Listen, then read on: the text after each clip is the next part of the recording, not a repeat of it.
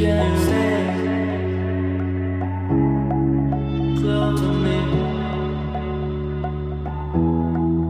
friends welcome to Anu specials ఈరోజు నేను మీకు ఆల్ ఇన్ వన్ బ్యాటర్ ఎలా చేయాలో చూపించబోతున్నాను. ఫస్ట్ ఒక గిన్నెలో three cups rice one cup మినప్పప్పు వన్ స్పూన్ మెంతులు వేసి వాష్ చేసి వాటర్ పోసి సిక్స్ అవర్స్ పాటు సోకింగ్కి పక్కన పెట్టాలి. నెక్స్ట్ ఇంకొక బౌల్లో హాఫ్ కప్ అటుకులు హాఫ్ కప్ సగ్గుబియ్యం వేసి వాష్ చేసి వాటర్ పోసి టూ అవర్స్ పాటు సోక్ చేయాలి. సిక్స్ అవర్స్ సోక్ అయిన ఈ రైస్ని మిక్సీ జార్లోకి ట్రాన్స్ఫర్ చేసి అందులోనే సోక్ చేసిన అటుకులు సగ్గుబియ్యంని కూడా యాడ్ కొన్ని కూల్ వాటర్ యాడ్ చేసుకుంటూ గ్రైండ్ చేసుకోవాలి.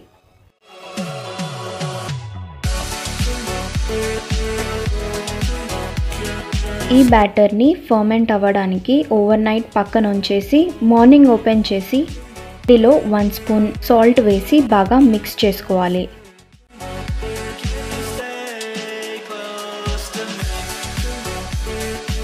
మిక్స్ చేశాక ఏ టిఫిన్ కావాలి అనుకుంటే ఆ టిఫిన్ చేసేసుకోవచ్చు.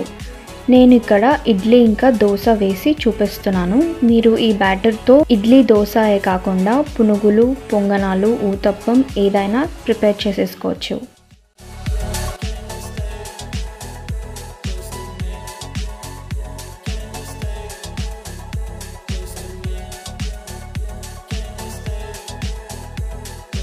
If you like this video, please like, share and subscribe. Thank you for watching.